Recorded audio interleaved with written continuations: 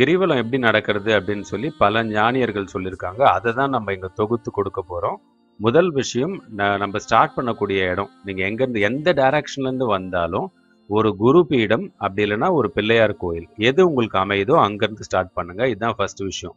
அப்படியே நடக்க ஆரம்பிச்சிடாதீங்க. கண்டிப்பாக ஒரு பாயிண்ட் ஒரு பர்டிகுலர் பாயிண்ட் அந்த பாயிண்ட் வந்து குரு பீடம் இல்லைன்னா பிள்ளையார் கோயிலாக இருக்கும். இது முதல் விஷயம்.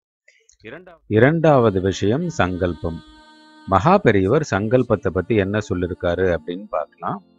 எந்த நல்ல காரியம் பண்ணாலும் அந்த நல்ல காரியம் நடக்கிறதுக்கு இறைவனோட கருணை தான் காரணம் அப்படின்றத நம்ம மறக்கக்கூடாதுன்றத வலியுறுத்தி சொல்லியிருக்காரு அவன் அருளாலே அவன் தாழ் வணங்கி அப்படின்றத நம்ம நல்லா ஞாபகம் வச்சுக்கணும் அப்படின்னு சொல்லியிருக்காரு நம்ம சங்கல்பம் பண்ணும்போது கண்களை மூடி மனம் ஒன்றுபட்டு அமைதியாக இறைவா இந்த பிரதட்சணத்தால் வரும் பலன் அனைத்தும் உன் திருவடியையே சாரும். உன் கருணையினால் தான் நான் இங்கே வந்தேன். இதனால் கிடைக்கிற பலனும் உன்னையே சாரும். உன் திருவடியையே சாரும் அப்படின்னு சொல்லி பொறுமையாக அமைதியாக வேண்டிட்டு நடக்க ஆரம்பிக்கணும் கிரிவலம் வரும்போது எந்த மந்திரத்தை உச்சரிப்பது? மிஸ் பண்ணாமல் பார்க்க வேண்டிய தரிசனங்கள். இது ரெண்டுமே ஒன்றா சேர்த்து பார்த்துடலாம். சரி நம்ம சங்கல்பம் பண்ணியாச்சு. நடக்க ஆரம்பிக்க போகிறோம் நடக்கும்போது எந்தெந்த இடம்லாம் பார்க்கணும்னா மலையை சுற்றி ஏகப்பட்ட ஆசிரமம் ஏகப்பட்ட கோயில்கள் இருக்குது நீங்கள் கார்த்திகை மாதம் ஃபுல்லாக தங்கி நடக்கிறதா இருந்தால் நல்ல எல்லா இடத்தையும் கவர் பண்ணிடலாம். பட் நீங்கள் இந்த ஒரே ஒரு நாள் தான் நீங்கள் நடக்கிறீங்க அப்படின்னா எதெல்லாம் வந்துட்டு மிஸ் பண்ணாமல் பார்க்குறது? நம்ம ஸ்ட்ரைட்டாக வந்து ரமண மகர்ஷி ஐயா என்ன சொல்லியிருக்காருன்னு பார்த்துக்கலாம். இதுக்கு அவர் தான் ரெஃபரன்ஸ் திருவண்ணாமலைக்கு அவர் தான் ரெஃபரன்ஸ் அவர் தான் அட்ரஸ் ஸோ நம்ம அவரோட வெப்சைட் போயிடலாம். Arunachala hill walking around the ஹில்னு ஒரு பட்டன் இருக்கு பாருங்க. இந்த பட்டனை கிளிக் பண்ணிக்கோங்க. கிளிக் பண்ணிட்டு இங்கே போய் பார்த்தீங்கன்னா இதில் வந்து கிரி பிரதட்சிணம் பற்றி அவங்க தனியாக ஒரு பேஜே இருக்கும். இந்த இன்ஃபர்மேஷன் போதும். எந்த மாதிரியான சீக்கர்ஸ் வந்தாலும் நீங்கள் இந்த இந்த ஒரு இன்ஃபர்மேஷன் வச்சுட்டே ஃபுல்லாக நீங்கள் கவர் பண்ணிடலாம். அருணாச்சலா சாண்ட் அப்படின்னு சொல்லி இங்கே ஒரு அற்புதமான ஆடியோ கொடுத்துருப்பாங்க. இதை நீங்கள் டவுன்லோட் பண்ணிக்கோங்க. ஃபோனில் காப்பி பண்ணிட்டு லூப்பில் வச்சுக்கோங்க. இதை வந்து நீங்கள் நடக்கும்போது கம்ப்ளீட்டாக லூப்பில் போட்டுடலாம்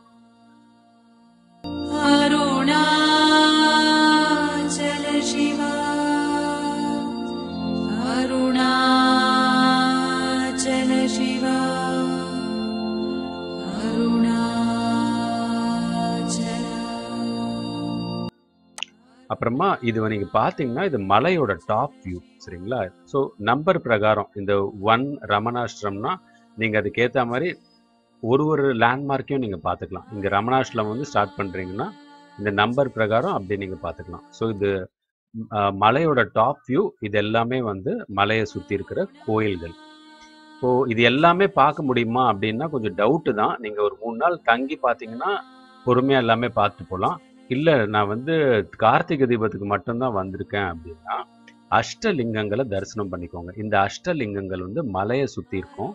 இப்போ இதில் பிரகாரம் இந்த இந்த ஆர்டர் பிரகாரம் பார்த்தீங்கன்னா ரமணாஷ்டிரமத்துலேருந்து யமலிங்கம் ஃபர்ஸ்ட் வரும். சப்போஸ் நீங்கள் கோயில்ல நடந்தீங்கன்னா இந்திரலிங்கம் ஃபர்ஸ்ட் வரும். சரிங்களா? இதுதான் ஃபர்ஸ்ட் வரும் கோயில்ல இருந்து ரமணாஷ்டிரம் வந்து நடந்தீங்கன்னா யமலிங்கம் ஃபர்ஸ்ட் வரும். ஸோ நீங்கள் இந்த மேப்பும் இந்த டெக்ஸ்ட்டும் மேட்ச் பண்ணிக்கோங்க. இதில் ரொம்ப கிளியராக இன்ஃபர்மேஷன் இருக்கும். இல்லைன்னா நீங்கள் ஒரு பிரிண்ட் அவுட் கூட கையில் வச்சுக்கோங்க. வழியில் வர அஷ்டலிங்கங்களை வில்வம் சாத்தி தரிசனம் பண்ணிக்கலாம். நெய் தீபம் வழி வழி நந்தியம் பெருமான் இருப்பார். நிறைய இடத்துல நந்தியம் பெருமான் இருப்பார். நீங்கள் நந்தியம் பெருமான் நெத்தியில் வில்வத்தை வச்சுட்டு அவருக்கு ஒரு நெய் தீபம் ஏத்திக்கோங்க நம்மக்கிட்ட ஏற்கனவே காட்டன் இருக்குது அகல் நீங்கள் வாங்கிக்கோங்க. இல்லைன்னா அங்கேயே நிறைய அகல் இருக்கும். அதுலேயே கூட போட்டு நீங்கள் ஏற்றிக்கலாம் ஒரு தீபம் ஒரு நெய் தீபம் நந்தியம் பெருமானுக்கு ஏற்றிட்டு மற்ற இடத்துலலாம் அந்த நெய் நீங்கள் வச்சுருக்க நெய்யை வந்துட்டு எரியிற தீபத்திலே கொஞ்சம் கொஞ்சம் நீங்கள் ஆட் பண்ணிட்டு போங்க. ஏற்கனவே எரிஞ்சிட்டு இருக்க நீங்கள் கொஞ்சம் ஆட் பண்ணிவிட்டு போயிட்டே இருங்க. முதல்லயே சொன்ன மாதிரி விபூதி பிரசாதம் அந்த பேக்ல சேர்த்து வச்சுக்கோங்க. எதுவுமே கீழே போடாதீங்க. தேவையான அளவு மட்டும் நெத்தியில பூசிட்டு மிச்சத்தை பத்திரப்படுத்தி வச்சுக்கோங்க. ஊருக்கு கொண்டு போயிட்டு உங்க ஆபீஸ்ல உங்க வீட்ல பக்கத்து வீட்ல எல்லாருக்கும் விபூதி பிரசாதம் கொடுங்க. ஏன்னா ரொம்ப அஹ், சொல்லுவாங்கல்ல மந்திரமாவது நீருன்னு சொல்லுவாங்கல்ல அதுக்கு அவ்வளோ ஒரு மரியாதை இருக்கு சைவத்துல. எங்க ஆரம்பிச்சீங்களோ அங்கேயே முடிங்க. எந்த இடத்துல நீங்க தொடங்குனீங்களோ அங்கேயே வாங்க. வந்துட்டு திருப்பி ஒரு தடவை சங்கல்பத்தை ஞாபகப்படுத்திட்டு நன்றி செலுத்திட்டு பத்திரமா ஊருக்கு வாங்க. இன்னும் கொஞ்சம் டீட்டெயில்ஸ் சரின்னு அதாவது கன்ஃபியூஷன் இருந்ததுன்னா நீங்க கமெண்ட்ல போடுங்க. டெஃபினட்டாக நான் கிளாரிஃபை பண்றேன். நன்றி இது பயனுள்ள வலை குறிப்புகள்